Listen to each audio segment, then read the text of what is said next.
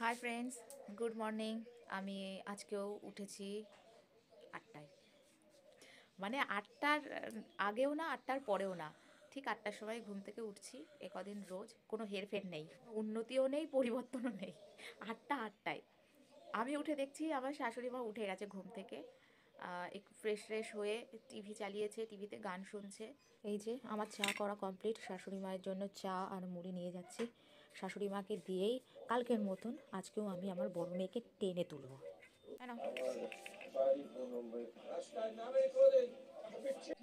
জল। বড় মেয়েকে তুলে দিয়েছি। কালকে যতটা কাঁদছিল আজকে অতটা কাঁদে নেই। ওটা আবার কেমন খাওয়াবে বিস্কুটটাকে দেখো চামচ হিসাবে কাজ করছে। চাটা আমি কি কাকে দিয়েছি? তোকে দিয়েছি না ঠাকুমাকে দিয়েছি?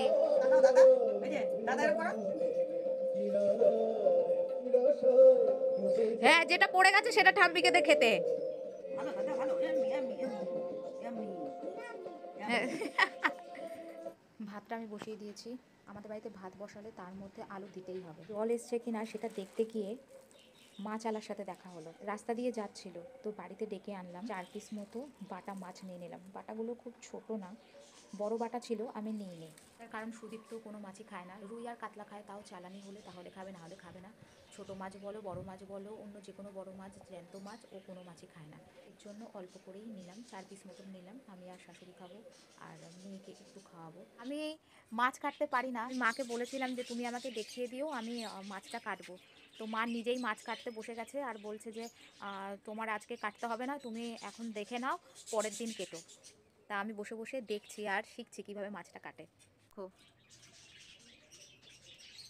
আজকে মাছ কাটতে বসে গেছে। সাইজগুলো দেখো। তখন প্যাকেটের মধ্যে ছিল ভালো করে দেখাতে পারিনি। খুব ছোট না আর খুব বড়ও না তার মাঝামাঝি সাইজ।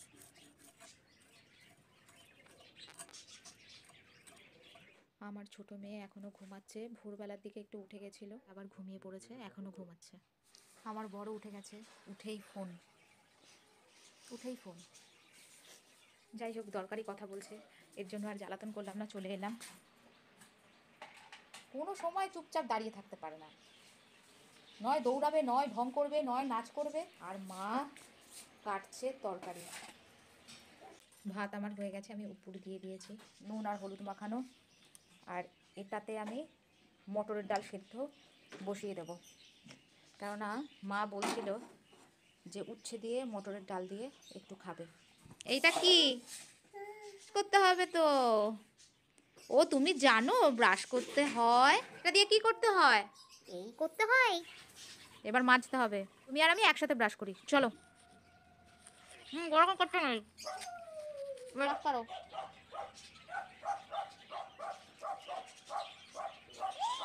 ব্রাশ করা এবার একটু থু করে দাও। থু। ফু গুড ঠোঁটে না, দাঁতে। আর মুখ ধোবে। আমার মুখ ধোয়া হয়ে গেছে কিন্তু। ডালটাও সেদ্ধ হয়ে গেছে। এখন আমি আলুটা ভেজে নেব। আমার মেয়ে আলু ভাজাটা ভালো খায়। আলু ভাজাটা আমিও ভালো খাই। আলু ভাজা হয়ে গেছে। এই কড়াইটাতেই আমি উচ্ছেগুলো ভেজে নেব। আমি ফোড়ন দিয়ে দিয়েছি। ডালটা আমার প্রায় হওয়ার মুখেই। আমার ডাল হয়ে গেছে, আমি ডালটাকে নামিয়ে নিয়েছি। আর আলু ভাজা তো আগেই করে দিয়েছিলাম। আমি বাড়ি চলে এসেছি খিচুড়ি নিয়ে। আর এসে দেখি যে ছোটো মেয়ে এখনও ঘুমাচ্ছে, ওঠেনি। বরকে খেতে দিয়ে দিলাম, এসে বরের খাওয়া হয়ে গেছে। এবার খিচুড়ি আমরা খাব আবার ডিম সেদ্ধটা খাচ্ছে বসে। আমি আর মা খেয়ে নিয়ে তারপর বড় মেয়েকে খাইয়ে দেবো। হ্যাঁ সবাই দেখতে পাচ্ছে যে তুমি ডিমটা খাচ্ছ। ইয়াম হ্যাঁ। ইয়াম শাশুড়ি মায়েরও খাওয়া প্রায় কমপ্লিট পড়ে যাবে বাবা। হ্যাঁ নাও সানগ্লাস। স্টাইল মারতে হবে। সানগ্লাস নয় নাই পড়ে যেতে। মা ও সুদীপ্তের সাথে চলে যাচ্ছে। যাও গিয়ে কাজ করে আসো। হাতে কিন্তু ডিম দেখো। আবার মাখিয়ে না দেয় জামাতে।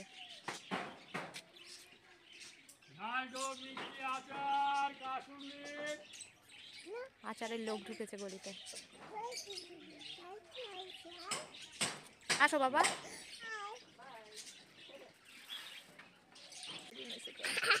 এবার আমি মাছটা রান্না করে নেব।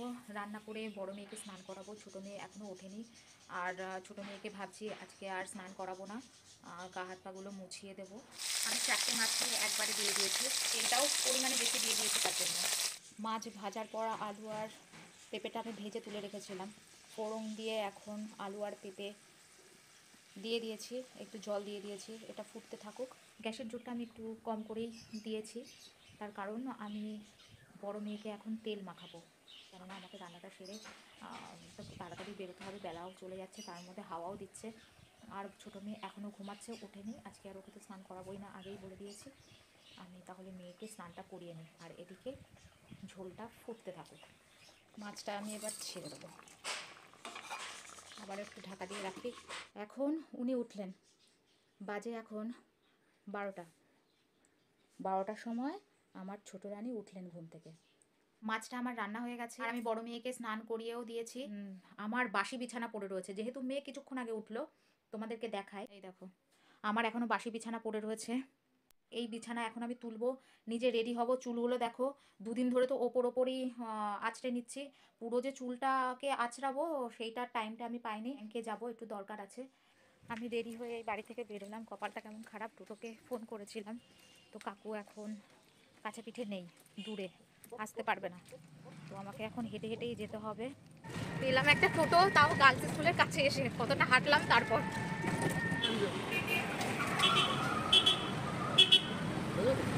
আর ভাড়া?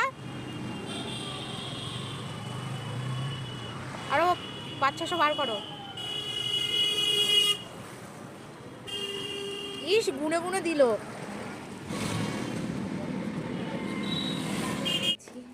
এবার উঠছি কাজ আমার কমপ্লিট আমি নিচেও চলে এসেছি কমপ্লিট করে।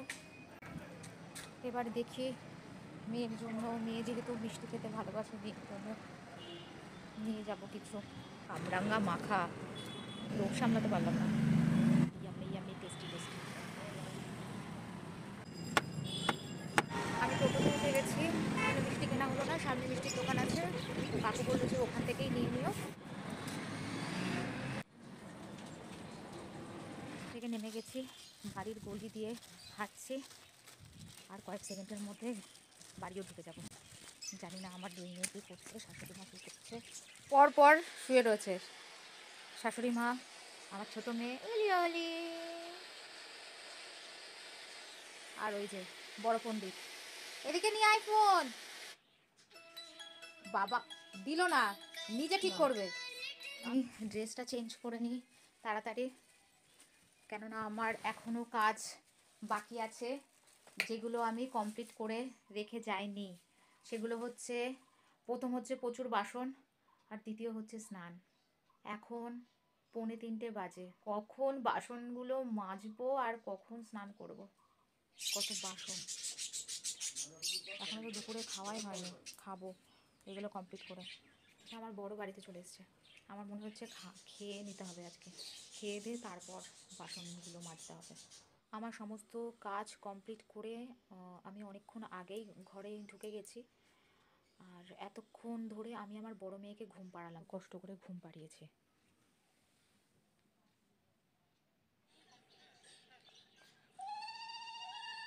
মা ফোন দেখছে। মহাশয়ও ঘুমাচ্ছে। যাই হোক, খাটাখাটনি পড়ে যায় তো, এর জন্য ঘুমিয়ে পড়ে। ফোন ঘাটছিল, ফোন ঘাটতে ঘাটতে ঘুমিয়ে পড়েছে। আমার এই ব্লগটা যদি ভালো লাগে, তাহলে লাইক করো কমেন্ট করো।